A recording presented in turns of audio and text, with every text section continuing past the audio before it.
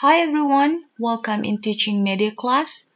And in a whole semester, you will learn how to make media and how to use it in teaching and learning process.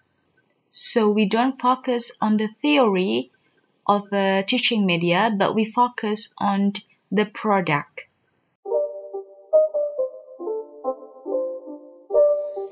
It's not a game, it's a rich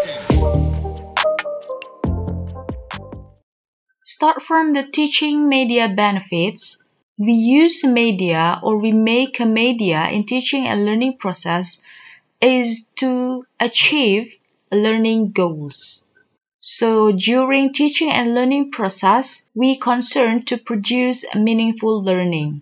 As a teacher, we have to be able to teach in different way. And by using media in teaching and learning process, it helps us as a teacher to teach in different way. And also it helps students to have independent learning. And of course, by using media, students can have clear explanations relating to the topic or the materials discussed in a meeting. Besides, by using media, for example, Google Classroom or Google Meet, you as a teacher may give feedback to the students. And of course, because we use media in teaching and learning process, it creates students' involvement. And why should we develop a media? There are three things I found as a reason why teachers should develop media in teaching and learning process. First, as a continuity of teaching and learning process. In one class, students have different characteristics sometimes in learning something. So by using a media, it helps them to learn easily.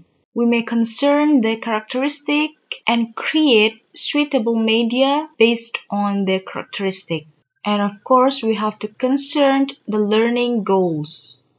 The second reason is students' needs during pandemic. So nowadays, students needs media in teaching and learning process because they have online learning.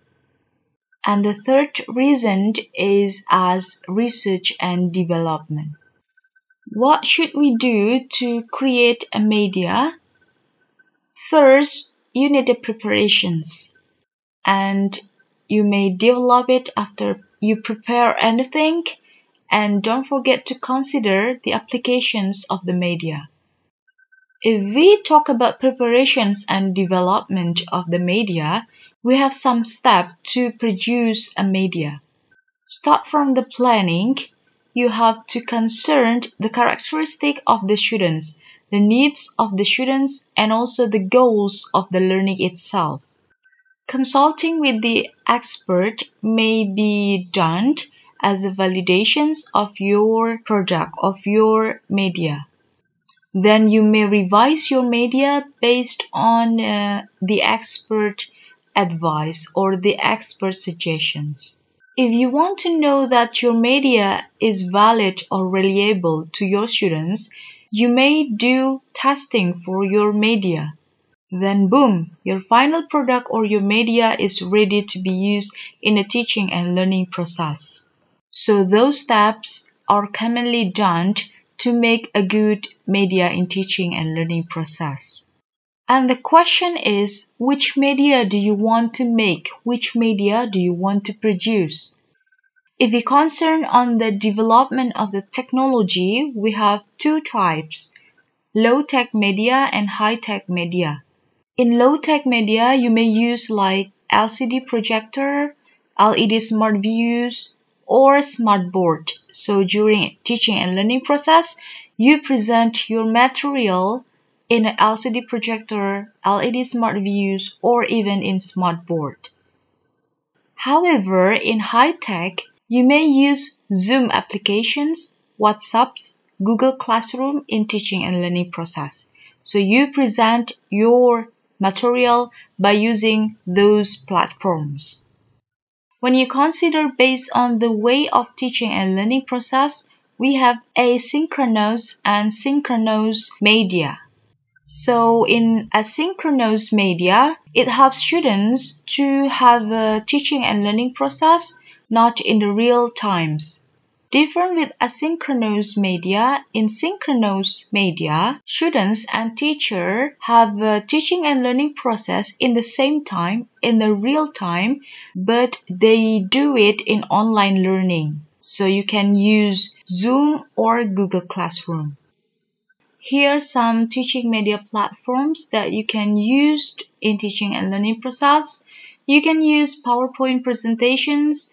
You may use Google Classroom, Zoom, or Flipbook, Screencast-O-Matic, YouTube, and other platforms.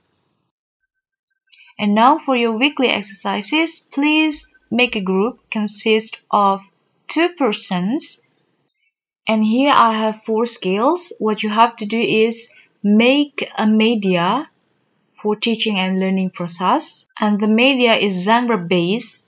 So we focus on the genre of the text or text type.